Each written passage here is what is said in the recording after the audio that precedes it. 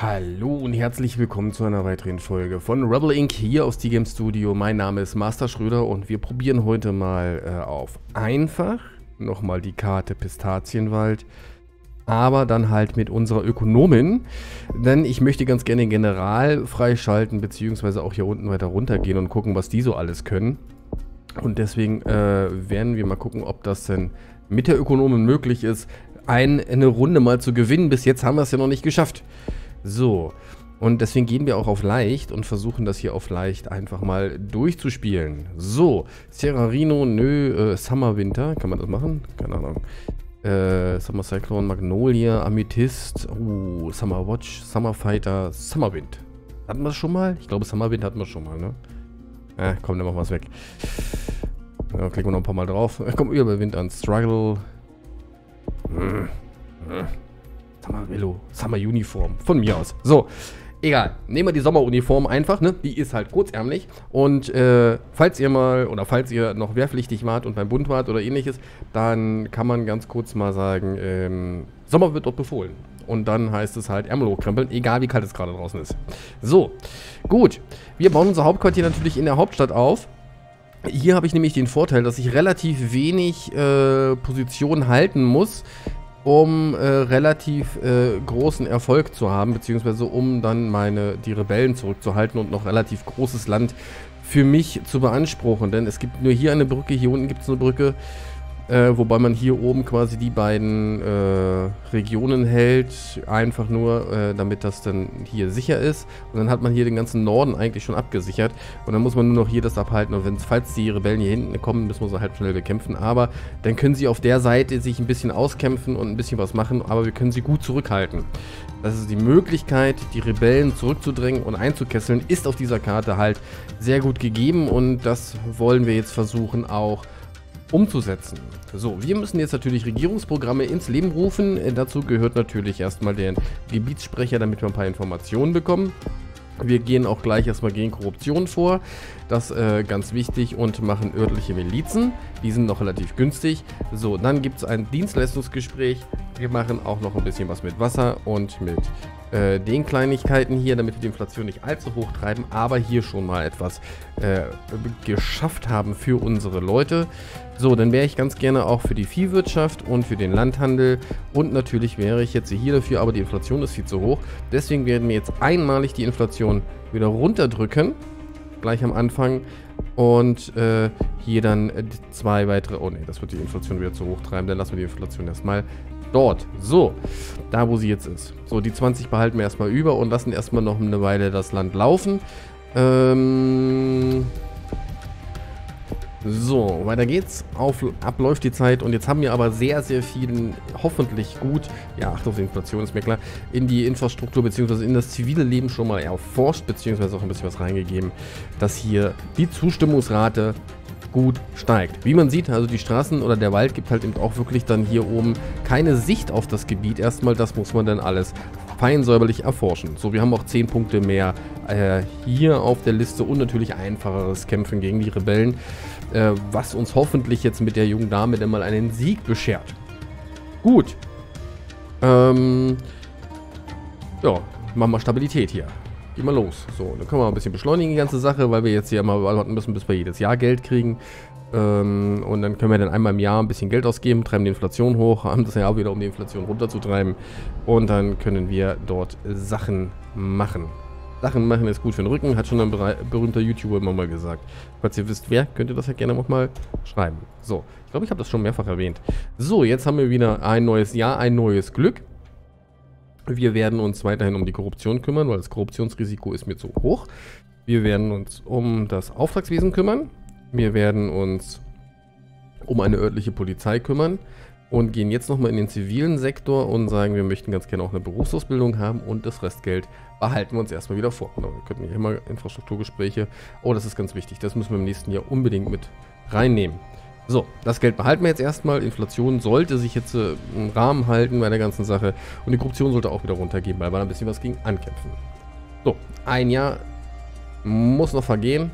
Und dann geht es jetzt aber dann auch dann wahrscheinlich schon los, genau. Aufstandsgerüchte, wir haben jetzt die militärischen Operationen und werden uns erstmal das Standardmilitär kaufen. Äh, unsere Einheit einfach. Und hoffen, dass jetzt nicht allzu viel militärische, äh, ja, mangels Elektrizität. Okay, da müssen wir dann mal was machen. Jetzt brauchen wir erstmal Geld. Das ist so wichtig. So, da sind, da hinten kommen die ersten Truppen, Rebellentruppen. Das ist schon mal gut, weil dann können wir hier die beiden Regionen einfach dicht stellen und dann ist mir das schnuppbepegt egal. Ich glaube, die kommen bei hier unten unten rum, ne? Ja, hier, das ist eine Region, okay. So, ähm, ja, umfassende Hilfe natürlich. Korruption steigt, naja gut, das hat man immer wieder. So, aber wir müssen dort helfen und äh, jetzt haben wir mehr Geld. Was uns jetzt dann dazu führt, dass wir hier natürlich noch eine Militäreinheit mehr auf der Seite holen und eine auf der Seite und natürlich uns die äh, Garnison, das Restgeld müssen wir behalten, falls irgendeine Frage kommt. Achtung, Korruption steigt. So, hier können wir natürlich gleich die Garnison bauen. Genau das ist auch das, was da passieren sollte. Und diese Einheit setzen wir erstmal dorthin. Und dann kann diese Einheit, wenn die dort eingesetzt ist, gleich hier rüber gehen und wird von der Garnison natürlich unterstützt. Und wir können hier erstmal die Leute zurückhalten. So. Und hier haben wir schon, das ist schon grün, das ist schon mal sehr gut. Also die Unterstützung, die zivile Unterstützung ist schon mal gegeben, das ist schon mal gut. Da müssen wir natürlich noch dran arbeiten, dass wir jetzt wirklich die regionalen Gespräche noch machen. Ähm, und dort uns, ja, Rebellen fliegen nach Delta Dingenskirchens. Können sie erstmal auch. Wir holen uns gleich ein paar Soldaten, um die dort da oben einzukesseln und wegzuholen. So. Jetzt werden unsere Soldaten dort angegriffen. Das sollte uns aber nicht weiter stören. Wir wollen die hier erstmal einkesseln. Damit wir die abklemmen. Und hier unten müssen wir unbedingt eine Einheit hinsetzen. Ah, wir haben Geld gekriegt. Ähm, wir haben Geld gekriegt, was uns dann in die Richtung treibt. Wir wollen das Elektrizitätsprogramm in die Wege leiten. Ein Feldweg und ein Straßenprogramm. Und militärisch sind wir natürlich dafür, unsere, äh, unsere Einheit zu. Nee, wir lassen die 19 mal da. Zeit läuft. Ja, jetzt ist natürlich hier durch den schnellen Zeitverlauf haben wir natürlich relativ schnell hier mit den Rebellen ziemlich viel zu tun. Jetzt müssen wir mal ganz kurz gucken, dass wir die hier unten so ein bisschen eingerahmt kriegen. Da gehen wir mal drauf. Ah, guck mal, dann greifen wir direkt hier an. Okay. So, hier wollen sie gerne eine Garnison bauen. Das können wir natürlich gerne tun. So. Hier unten die Position halten. Die Position müssen wir auch halten. Also wir dürfen sie hier nicht durchrutschen lassen. Und wir müssen hier jetzt demnächst mit Militär ran. Aber da hoffe ich mal drauf, dass ich genau einmal wieder Geld kriege vorher. Ähm, mein Militär ausbaue. Und mein Militär stärker mache. Und das Restgeld behalten wir erstmal. So. Die Soldaten kämpfen hier. Hier ist so eine Garnison. Ah ja, jetzt sind sie hier durchgerutscht. Das ist ungünstig. Ich hoffe nicht, dass sie in die Richtung abfliehen. So, und dann muss mein Militär jetzt so schnell ausgebildet werden. Ich würde gerne auch einen Garnisonbau noch unterstützen, aber haben wir momentan gerade nicht. So, jetzt sind sie wieder da reingerutscht. Okay. Was haben wir hier für eine Frage? Ähm... Ja.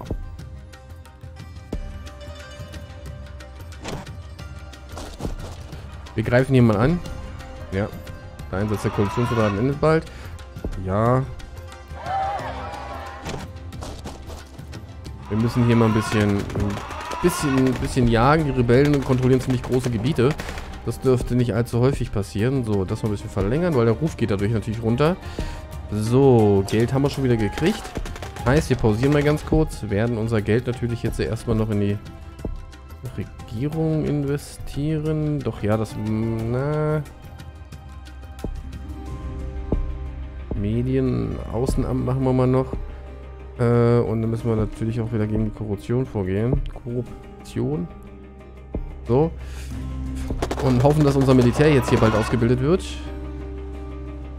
Weil momentan haben wir sehr viele Rebellen. Hilfe, ja, ich weiß. Kommt, es kommt, es kommt Hilfe.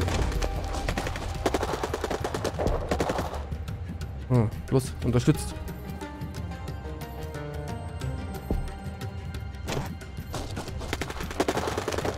So. Aber jetzt müsste doch die Einheit hier mal da unterstützen, oder nicht? Hopp. Komm. Ja, Garnison bauen. Immer wichtig. So. Gut. Rebellen fliegen vor unseren Soldaten. Überraschungsangriff. Okay. Gut, also das mit dem Militär ist mit, mit der jungen Dame hier ein bisschen schwierig, aber das kriegen wir alle noch hin. So, wir verstärken unsere Truppen erstmal und unsere Garnison nochmal. Ähm, und dann müssen wir wieder Geld sparen. Für ein weiteres Jahr. Wir müssen noch ein weiteres, ein, ein oder zwei Jahre müssen wir noch überleben. So, jetzt ist hier auch Unterstützung da. Sehr gut. So. Ja, gegen Korruption müssen wir auch nochmal vorgehen. Oh, die kriegen jetzt aber auch hier auf den Sack. Das ist gar nicht mal so gut. Uh, gar nicht mal so gut. Gesprächsversuch. Ne, verschieben wir nochmal. Okay. Und was ist hier? Äh, Gegenangriff. Bitteschön. Ja. Rebellenpotenzial sinkt. Und hier haben wir jetzt natürlich einen richtigen... Tja. Da kann ich leider nur mich zurückziehen. Das bringt auch schon einen Rebellen, kostet uns Ruf, aber unsere Einheiten, das ist mir zu teuer, die Einheiten dafür rauszuhauen. Wir müssen das hier erstmal verteidigen, einfach erstmal nur. Und dann das Gebirge früher oder später freigeben. Auch schon immer bedrohlicher. Ich weiß, ich weiß, ich weiß. Wir haben auch jede Menge Einheiten dort. Die Gesprächsbereitschaft ist relativ gering. Aber es ist jetzt erstmal so. Das heißt, ich werde mich doch darum bemühen, nochmal eine Einheit dazu zu bekommen und ein bisschen Grundstimmung zu schaffen. Und hier bei der Korruptionsbekämpfung. Und dann haben wir gar kein Geld mehr. Oh, oh, oh, oh. Das ab Juni. Das ist natürlich eine lange Zeit. Aber es ist halt so. So, dann werden wir das hier oben erstmal beruhigen. Damit wir dann hier unten ran können. So. Gut. Dann kommst du hier runter. Verteidigst erstmal die Gegend. Das unterstützt sich dort. So, dann gehst du hier runter und greifst das an. Und dann kesseln wir sie jetzt langsam aber sicher ein und müssen dann halt gucken, dass wir dann ein, einen nach dem nächsten kriegen. Oh, da oben sind Rebellen drin. Das ist ja ganz ungünstig. So. Oh, unser Ruf ist aber... Oh. Gar nicht mal so hoch. Wir müssen unbedingt unseren Ruf erhöhen. Äh, ich brauche militärische Unterstützung an allen Ecken und Enden. Da müssen wir das Rebellenlager äh, aushebeln. Was ist denn da wieder los? Äh, Gegenangriff. Ja, ja. So. Ich muss hier oben mal ganz kurz die Rebellen rausjagen. Rebellenlager vernichtet, okay. Also die dürfen dort kein, kein großer Ding... Ja, bitte eine Garnison bauen. Jetzt haben wir hier hinten im Wald auch noch Rebellen. Was ist denn hier wieder los? Verschieben. So, okay. So, dann geht's hier weiter. Da hinten hin bitte. Du, dahin bitte. Das ist hier eine Region. Leider nicht. Das sind mehrere Regionen.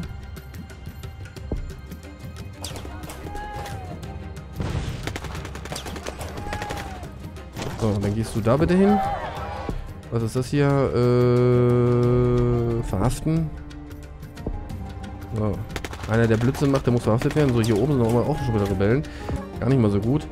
Oh, was ist denn das hier mal Gegenangriff? So, bitteschön. Unterstützung sinkt. So, jetzt müssen wir mal ganz kurz so beim Militär gucken, ob ich da was machen kann. Kann ich denn mir da... Ich hole mir noch eine Einheit. So, dann werden wir hier noch ein bisschen äh, versuchen, gut Wetter zu machen. Verschieben. So, jetzt müsste so langsam hier mal auf dem Rückzug sein. Okay, sind sie auch. Was ist denn hier wieder los? Äh, nationale Mobilmachung, innere Ausbildung, zwei zusätzliche Einheiten, nationale Soldaten, zukünftigen Einsatz, 70% Wahrscheinlichkeit. Jupp. Machen wir mal. Korruption steigt. Egal, aber wir kriegen zwei weitere Einheiten. Das ist schon mal gut. So, was haben wir hier? Geteilte Luftwaffe, neue Luftwaffe, nationale Kräfte Luftunterstützung, Koalition halten, wenn verfügbar. Stärke nationaler Soldaten steigt leicht, Stärke Koalition sinkt leicht. Äh, ja. So. Gut. Jetzt müssen wir immer mit der Einheit noch wohin hier. Ich weiß nicht, ob da oben noch Rebellen unterwegs sind. Ich sehe es gerade nicht, aber wenn ja, dann hoffe ich, dass ich die jetzt wegkriege hier. So. Jetzt sind sie auf jeden Fall erstmal gut beschäftigt, die Rebellen. Und jetzt wollen sie auch ins Gespräch haben. Sehr schön. So. Das ist aber schön. Das habe ich sonst noch nie gehabt, dass hier sowas kommt. Dass wir da zwei haben. Äh, internationale Kräfte bleiben erstmal. Wir müssen unseren Ruf steigern, unbedingt. Weil äh, wir werden früher oder später hier ähm, das Problem kriegen, dass wir keine... Ähm, ja, eine schicken wir jetzt nach Hause, okay. Weil hier kommt eh eine neue. Internationale Kräfte kommen hier nochmal neu. So, Rebellen ausgeschlossen. Das geht jetzt ziemlich schnell hier, ne? Machen wir die Zeit ein bisschen langsamer. So, und dann machen wir hier äh, Rebellen, Entschuldigung. Die sind daran schuld. So, und dann werden wir jetzt mal hier ganz kurz Militär hier oben einsetzen und unser Militär hier einsetzen. Aber da sehen wir nämlich schon, wo es wieder rappelt hier in der Kiste. Wie blöde. So, die müssen wir dann mal umstellen. Rebellen geben Waffen ab. So, und hier müssen wir die Rebellen auch umstellen. Warte mal, nee, wir müssen in das Land gehen. Dahin gehen. Die müssen wir mal ein bisschen in Trab halten. Äh, unter Aufsicht nehmen. Kraftwerk ist immer gut. So. Haben wir hier. Abkommen abgelehnt. So. Das war natürlich jetzt äh, teuer, aber es hat ordentlich Ruf gebracht. So, da ist das Rebellenlager. So, jetzt müssen wir hier mal ganz kurz die Sache einkreisen hier, damit wir die wegkriegen. Bedrohung durch Rebellen wächst, ja, das ist klar. Aber wir werden jetzt hier die Rebellen natürlich hoffentlich relativ schnell rauskriegen. Dann müssen sie hier mal ganz kurz auf Position halten. Da oben müssen wir mal hin. Die verlängern wir mal nochmal. So. Und hier oben müssen wir mal reingehen und die Koalitionstruppen dazu verwenden, die Einheiten dort, ah eine Garnison bauen. Das ist immer gut. Die unterstützt uns noch weiter mit beim Kämpfen. Das ist immer gut. Was haben wir hier oben? Ähm, neue Football-Liga vorgestellt. Äh, ja, komm. Egal, ob das mehr kostet. Aber in dem Gebiet haben wir natürlich dann sehr gut, sehr viel Unterstützung. So, wir haben jetzt momentan 19 Rebellen, die sich alle hier wahrscheinlich aufhalten, wie blöde. Die müssen wir hier nur zurückdrücken. So. Obwohl, hier haben wir auch noch eine Grenze zu, ne? Hier oben, das hat geklappt, okay. Die sind raus. Da wollen sie angreifen. So, was haben wir hier Schönes? Gegenangriff. Alles klar. So, und dann gehen wir da rein. So. Ähm, Zugeständnisse einfordern. Nehmen wir mal wieder 33% runter vom Dings. Gibt natürlich gleich wieder ein paar mehr Rebellen dadurch. Kennen wir ja schon, aber hier sind sie jetzt eingekesselt und wenn die raus sind, also sind mir einfach zu viele Rebellen am, am Leben noch. So, und jetzt haben wir, haben wir sie bis auf Null runtergekämpft. Das heißt, wenn sie jetzt einen äh, Gesprächsversuch machen, dann können wir natürlich auch das Abkommen zustimmen. Denn momentan kontrollieren sie keine Region und es gibt keine Regel Rebellen und das kostet uns dann keinen Ruf. Interessant ist natürlich, dass jetzt Rebellen da rumkommen.